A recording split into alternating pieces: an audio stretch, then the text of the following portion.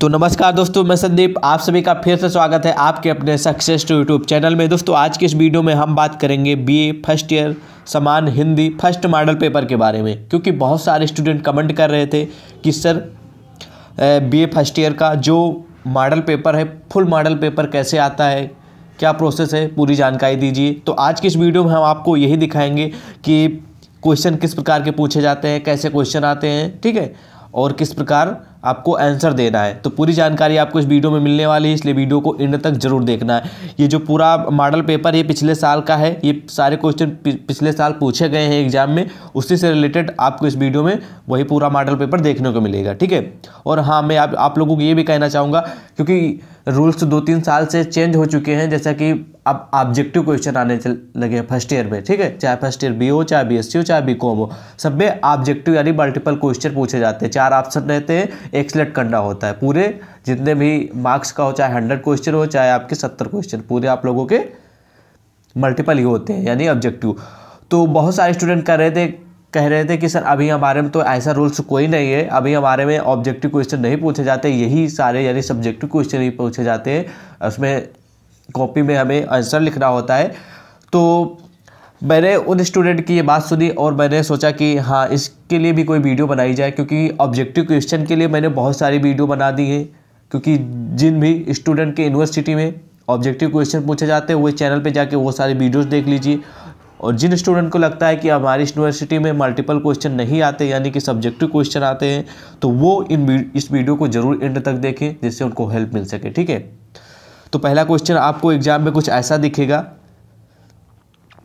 सभी प्रश्नों के उत्तर दीजिए, सभी प्रश्नों के अंक समान अंकित है। तो पहला प्रश्न होगा निम्न की सप्रसंग व्याख्या कीजिए। ये आप लोगों को एक सेंटेंस मिल जाएगा। पूरा पैराग्राफ यहाँ से यहाँ तक। इसकी आप लोगों को संदर्भ सहित प्रसंग पूरा करके व्याख्या करना होता है ठीक है?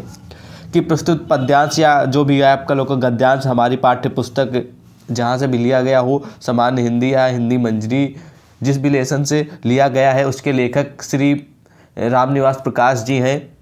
ठीक है? और आप लोगों को प्रसंग इसमें इसी तरह लिखना है कि कि इस हमारे पद्यांश में इसके, जिसके बारे में मेन उसके बारे में विचार किया गया हो, उसके बारे में समझाया गया हो तो प्रसंग उसी से रिलेटेड आपको लिखना है। फ़िलहाल प्रसंग और संदर्भ मैंने पिछली वीडियो में बता दिया कैसे लिखना है, नहीं देखा तो चैनल पर जाके देख लीजिए। उसमें आपको आसानी से समझ में आ जाएगा। और व्याख्या तो आप लोगों को पता है कि कैसे करना है, ठीक है?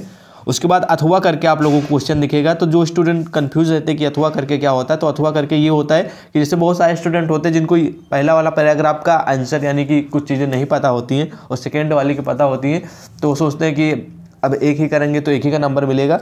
तो ऐसा कुछ नहीं है। इसमें आप लोगों को क्या करना है? चाहे आप पहला करिए, चाहे दूसरा करिए। ठीक है? अथवा करके ऑप्शन है, जो आपको आ रहा है, वो करिए, आपको फुल नंबर मिलेगा, लेकिन एक ही करिएगा। आप दोनों करेंगे तब भी आपको एक एक नंबर मिलेगा, एक करेंगे तब भी। इसलिए आपको कंफ्यूज नहीं होना है। नेक्स्ट क्वेश्चन की बात करते हैं नेक्स्ट ऑप्शन की। इसी तरह आप लोगों को बा नंबर दिख रहा होगा। घर और कारागार के बीच में जीवन का जो क्रम व्यवहार के साथ आरंभ हुआ था, वह अंत तक चलता ही रहा। छोटे बच्चों को जेल के भीतर और बड़ों को बाहर रखकर वे अपने मन में कैसे संयत रख पाती थी? तो आप लोग इसे पढ़ लीजिएगा, ठीक है, डीपली में। इस पूरा मैं पीडीएफ आप लोगों को बता दूँगा अभी, कहाँ से डाउनलोड करना है। अथवा करके दूसरा भी है, वह तोड़ती पत्थर देखते देखा मुझे जो तो एक बार, उस भवन की ओर देखा छिन्न तार। तो इस तरह आप पढ़ लीजिएगा और उसका जो आंसर है आप गूगल से सर्च कर लीजिएगा या आप, लोगों के सीरीज़ आ चुकी होंगी क्वेश्चन बैंक उससे मैच कर लीजिएगा। और दा नंबर इसी तरह ऑप्शन मिलेगा। दा नंबर में भी दो क्वेश्चन है जिसमें से आपको लोगों को एक ही करना है ठीक है? यानी आप लोगों के पास छः ऑप्शन है। छः ऑप्शन में से आपको चार क्वेश्चनों के यानी कि तीन क्वेश्चन को आंसर देना है। अब बात करते हैं नेक्स्ट क्वेश्चन की। नेक्स्ट क्वेश्चन दोस्तों ये है। दो नंबर आप खुद ही देख सकते हैं यहाँ पे। पहले वाले मोह सब बताया गया था, जैसा कि मैं संदर्भ सहित व्याख्या करना है। और दूसरा क्वेश्चन जो है, वो है आप लोगों का, कितने नंबर का है? टोटल है बीस नंबर का। यानी कि इसमें से आप लोगों को दो क्वेश्चन करने हैं। ठीक है पाँच पाँच नंबर के हैं। नहीं, सॉरी दस दस नंबर के हैं, दो क्वेश्चन हैं। यानी टोटल आपका बीस मार्क्स मिलने वाले हैं।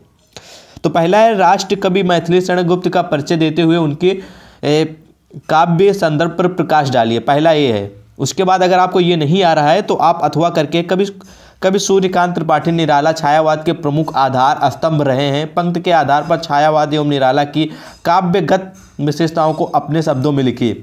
ठीक है? तो इन सब का जीवन परिचय लिखना है। चाहे जो आ रहा है, चाहे आपको ये आ रहा है, चाहे ये आ रहा है। अगर पहला आ रहा है तो उनके साथ उनका परिचय लिखने के बाद उनकी काव्य, जो भी उनकी कृति है, उनके बारे में आप लोगों को थोड़ा डीप में लिखना है। ठीक है? नहीं आ रहा तो आप सूर्यकांत त्रिपाठी निराला के बारे में लिखिएगा। उसके बाद आपके दस नंबर पक्के हो जाएँगे दोनों में से एक। उसके बाद जो इसमें सब ऑप्शन में दो नंबर है, दूसरा वो है, मुंशी प्रेमचंद्र की आत्म, आत्मा राम कहानी का उद्देश्य स्पष्ट कीजिए। उसके बाद अथवा करके व्यंग लेखन हिंदी की सशक्त विद्या है, इस दृष्ट को, इस दृष्ट से परसाई के व्यंग मूल्यों के उलट फेर का सार लिखिए। तो आई होप आप लोगों को पहला ही क्वेश्चन समझ में आ रहा होगा इसमें मुंशी प्रेमचंद के बारे वाला। तो आप फिर मैं यही सजेस्ट करूँगा कि ये मुंशी प्रेमचंद्र वाले के बारे में ही आप लिख दीजिएगा तो आपको अच्छे नंबर मिल जाएँगे। अगर आपको ये आता है तो ये भी लिख सकते हैं, ऐसी बात नहीं है। दो में से एक करना है, ठीक है? चाहिए चाहिए। आपको दस नंबर इसके मिल जाएँगे, यानी आपके टोटल बीस नंबर कंप्लीट हो जाएँगे। अब अगला क्वेश्चन है, तीन नंबर क्वेश्चन निम्नलिखित में से किसी एक विषय पर निबंध लिखना है। तो जो तीन नंबर का क्वेश्चन है वो है निबंध लिखने के लिए। निबंध में आपको कई ऑप्शन मिल जाएँगे। नंबर एक है स्वच्छता अभियान की सार्थकता। दो नंबर है युवा शक्ति की दायित्व। और तीन नंबर है कंप्यूटर प्रणाली का महत्व। और चार नंबर पे है योग एवं जीवन, आत्म योग एवं जीवन विज्ञान की अनिवार्यता। तो इसमें चार ऑप्शन हैं, जो आपको सुटेबल लगे, यानी जो लगे कि आप इसके बारे में अच्छी नॉलेज है। अच्छी जानकारी है, उसके बारे में आप लिखिएगा। कितने वर्ड में लिखना है? यहाँ पर टारगेट भी दे दिया गया। पाँच सौ वर्ड तो आपको लिखने ही है। ठीक है? पाँच सौ शब्दों में आप लोगों को कोई भी इनमें चारों में से एक पे हेडिंग डाल के पाँच सौ शब्दों में लिखना है। ये आप लोगों को पंद्रह मार्क्स मिल जाएँगे। तो पंद्रह मार्क ऐसे कोई नहीं देगा। इसके लिए आपको कम से कम ढाई से तीन पेज तो लिखने ही हैं। ढाई से तीन पेज लिखेंगे, तभी शायद पाँच सौ वर्ड पूरे होंगे। वरना इतनी जल्दी कोई पंद्रह नंबर देने वाला नहीं है, ठीक है? तो आपको जिसके बारे में अच्छी नॉलेज है आई होप आप लोगों को जो कंप्यूटर से रिलेटेड इंटरेस्ट है उनका तो आई होप वो कंप्यूटर में कर ले जाएँगे। और जो युवा हैं, वो हमारे युवा शक्ति के बारे में बता सकते हैं और स्वच्छता अभियान के बारे में भी बता सकते हैं, ठीक है? तो आपको जो अच्छा लगे, जिसके बारे में जानकारी, वो करिएगा। नेक्स्ट क्वेश्चन पे आते हैं। नेक्स्ट क्वेश्चन ये है, चार नंबर क्वेश्चन यानी, ठीक है? चार नंबर देख लीजिए।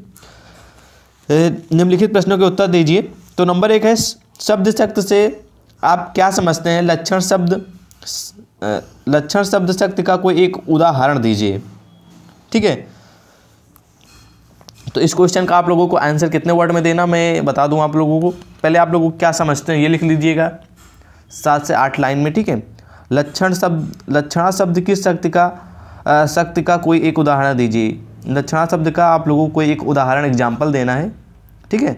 उसके बाद दूसरा है सब ऑप्शन निम्नलिखित में से तीन पर्यावाची शब्द लिखना है। तो इन सब के तीन तीन पर्यावाची शब्द लिखना है। तीन है तो तीनों के तीन तीन। जैसे कि आँख का है तो आँख का आप लोगों को तीन पर्यावाची शब्द लिखने हैं, ठीक है? घोड़ा के तीन लिखना है, कामदेव के तीन लिखने हैं, ठीक है? तो आप लोगों के तीन नंबर पक्के हो जाएँगे, ठीक है? बहुत आसान है, कोई ज़्यादा टॉप नहीं है।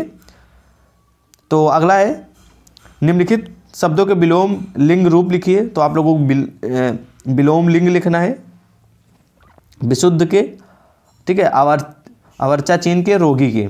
इन सब के आप लोगों को विलोम लिंग रूप लिखने हैं। अगर जिन स्टूडेंट को नहीं मालूम है इन सब का आंसर, ठीक है, जैसे नहीं मालूम है कि विशुद्ध का अवर्चिन का, रोगी का हो गया, क्या होगा तो वो गूगल पर सर्च कर लीजिए, आपको वहाँ गूगल पर भी मिल जाएगा, और मास्टर माइंड अगर आपने खरीदा नहीं है तो खरीद लीजिए, उसमें भी आप लोगों को मिल जाएगा, ठीक है। अगला क्वेश्चन है, निम्नलिखित शब्दों के शुद्ध रूप लिखिए। जैसे उज्ज्वल लिखा है तो उज्ज्वल को क्या लिखा जाता है? वो आप लोगों को लिखना है, जैसे कि उज्ज्वल होता नहीं सॉरी उज्ज्वल। तो आप लोगों को उज्जवल को सही लिखना है, कैसे लिखा जाता है? ठीक है, इसमें उज्ज्वल लिखा है, प्रकृति, रीति, ये सब गलत लिखा है, जैसे रीति आप लोगों को मालूम होगा कैसे लिखा जाता है, ठीक है? ऐसे। तो इन लोगों को आप लोगों को शुद्ध करना है, कोई खास नहीं है। तो इसके भी आप लोगों को अच्छे नंबर मिल जाएँगे, तीन नंबर मिल जाएँगे। अच्छी बात है। अगला क्वेश्चन है, निम्नलिखित में से किन्हीं दो वाक्यों को शुद्ध रूप में लिखिए। तो नंबर है कि पुस्तक मेरे द्वारा लिखा गया। बी नंबर है, मैंने एक एकांकी पढ़ी। उस यानी सा नंबर है, महादेवी वर्मा, एक विद्वान लेखिका लेखिका थी। तो पुस्तक मेरी द्वारा लिखी गई। ऐसा भी हो सकता है कि मेरे द्वारा पुस्तक लिखा गया। ठीक है? इसमें उल्टा हो गया कि पुस्तक मेरे द्वारा लिखा गया है। मैंने एक एकांकी पढ़ी। ठीक है?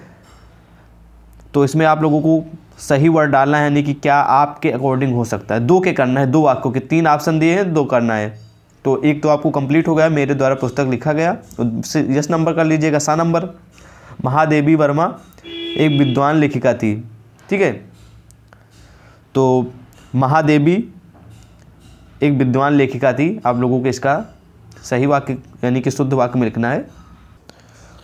तो आई होप आप लोगों को समझ में आ गया होगा, दो ही करना है, तीन नंबर मिल जाएँगे, ठीक है? तो आप ऐसे करके लिख लीजिएगा, ठीक है? आपको पूरी हेल्प मिल जाएगी।